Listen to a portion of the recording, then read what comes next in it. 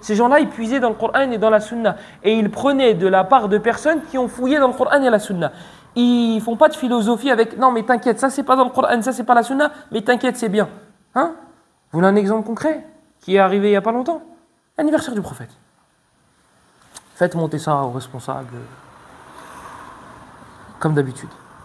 L'anniversaire du prophète. C'est écrit où? Ni dans le Coran, ni dans la Sunna. Mais t'inquiète, c'est bien. Mais si c'est bien, et que c'est pas écrit, il y a un problème. Abu Bakr, Omar, Uthman, Ali, personne, personne ne l'a fait. Mais t'inquiète, c'est bien.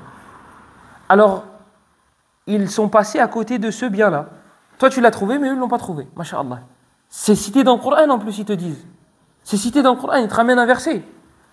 Donc le verset, toi, tu l'as compris. Abu Bakr, il ne l'a pas compris ce verset-là. Il est passé à côté, il terminait le Coran je ne sais combien de fois par, euh, par mois. Lui, il a lu le verset, il ne l'a pas compris comme toi, tu l'as compris.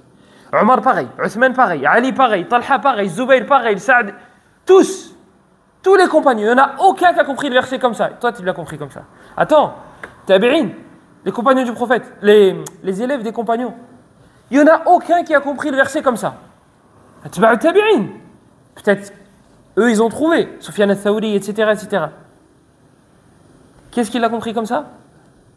Qui est-ce qui a inventé cette fête-là? Shia. Normalement, juste là, c'est suffisant, on peut s'arrêter. C'est Shia. Yani tu vas faire un truc, la source c'est quoi? Shia. Je te dis pas, il y a un problème.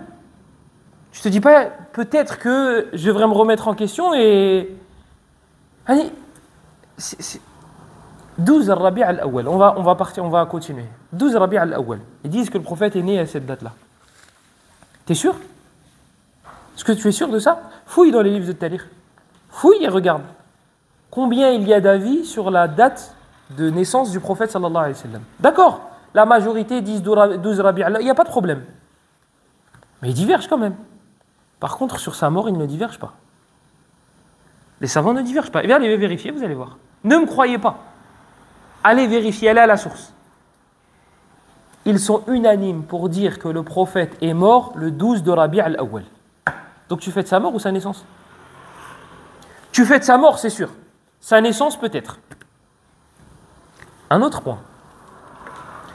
Le prophète sallallahu alayhi wa sallam, il était conscient qu'il était né, euh, qu'il fallait favoriser euh, le jour de sa naissance ou pas Oui, il était conscient. Moi, je suis avec toi. Le prophète, il fêtait son anniversaire. Moi, je suis avec toi. Et c'est pas du second degré. Il était conscient que c'était un jour spécial. Parce qu'ils aiment bien, ils disent, regarde, la philosophie. Wallahi, tu vois le truc arriver. Ils disent Regardez, Mecca, pourquoi ça a été honoré? Pourquoi Médine ça a été honoré? Parce que le prophète est né là-bas, parce que le prophète a fait sa hijra là-bas. Donc, le jour durant lequel il est né, forcément, il a une mazia, il a une particularité. Au lieu de faire cette philosophie-là, etc., etc., pourquoi Bakr, il n'a pas, pas utilisé cet argument-là? Pourquoi Omar, il ne l'a pas utilisé? Taïb, allons, allons avec toi. Vas-y, d'accord. C'est vrai, c'est un jour spécial? Moi, je suis d'accord. Et c'est pas du second degré. Le prophète fêtait son anniversaire. Comment il le fêtait? Il le fêtait toutes les semaines. Et Allah, on le fête toutes les semaines. Vous, voulez le fêter qu'une fois dans l'année On va le fêter toutes les semaines. Et bismillah, on commence à partir de demain. Comment il le fêtait? Il jeûnait. Il jeûnait lorsqu'il a été questionné dans Sahih Muslim. Il n'y a pas de il est faible, il est Hassan, il est, il dans Sahih Muslim hadith. Lorsqu'il a été questionné sur le jeûne du lundi, qu'est-ce qu'il a dit? Il a dit c'est le jour durant lequel je suis né. Voilà, il fêtait son anniversaire. Tu vois, il était conscient que c'était un jour spécial. Et donc, qu'est-ce qu'il faisait? Les bougies, l'anniversaire, venez les gars, je suis né ce jour-là. Il jeûnait. Taïb bismillah, à partir de demain, on fête l'anniversaire du prophète, mais chaque semaine. Mais comme lui, il le fêtait. Pas comme toi, tu as envie qu'on le fête. On le fête comme lui, il le fêtait. Allez, salatu salam. Montez l'information, notez, euh, ou si vous voulez, euh, quand il sera posté la vidéo, vous prenez une partie et vous allez montrer au, aux responsables. Comme ça, vous ne cassez pas la tête à écrire. Ceux, ceux, dont je parle, ils savent très bien. Ils savent très bien. Je peux continuer hein, sur l'innovation de. N'ayons pas peur des mots. Bid'atul mawlid. C'est une bid'a. Il y, a, des gens qui n'aiment pas ce mot-là. Ils n'aiment pas ce mot-là. طيب الذي قال هذه الكلمة الذي نطق بهذه الكلمة هو رسول الله صلى الله عليه وسلم. Il a, le, le, ce mot-là, bid'a, certaines personnes n'aiment pas ce mot-là.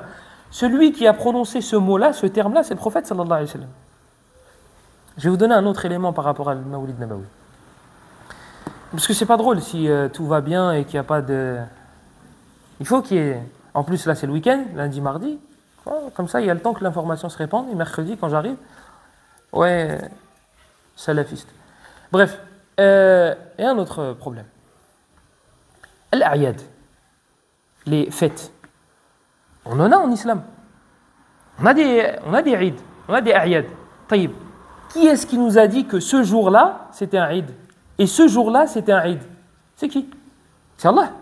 C'est Allah qui nous a légiféré les A'yad. C'est lui qui nous a légiféré les fêtes. Al-Eid, c'est Yaoud. Yani c'est quelque chose qui se répète. Ça vient de ce mot-là, Eid. Yani Yaoud. Il revient. Taïb. Donc Allah, il nous a légiféré deux fêtes. L'Eid. Qu'est-ce que c'est quoi les deux Eid? L'Eid al-Adha et Eid? Taïb. Donc c'est lui qui nous a légiféré ces deux ces deux-là. Il en a oublié une pour que tu viennes et que tu dises non, il y en a une troisième. Il y a une troisième fête et c'est celle-là. Taïb, il en a oublié une alors. Autre chose. Eux, ils disent, ceux qui disent je sais bien,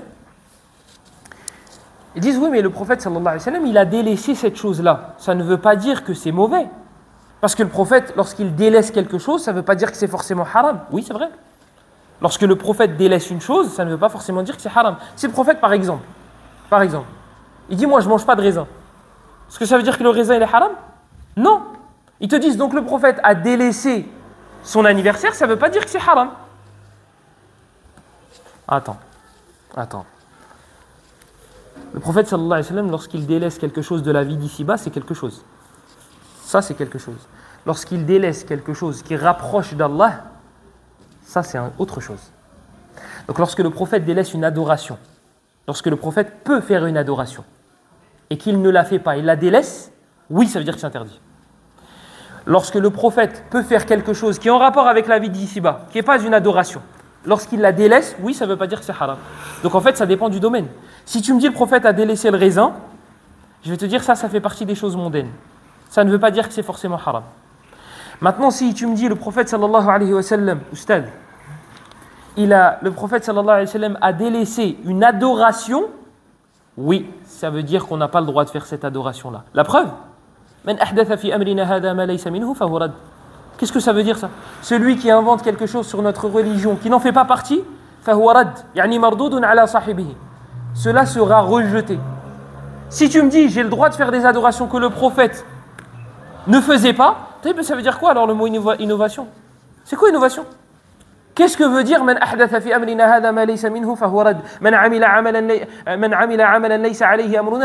Qu'est-ce que ça veut dire innovation? Qu'est-ce que veut dire celui qui invente quelque chose sur notre religion qui n'en fait pas partie alors cela rejeté cela sera rejeté. Qu'est-ce que ça veut dire tout ça?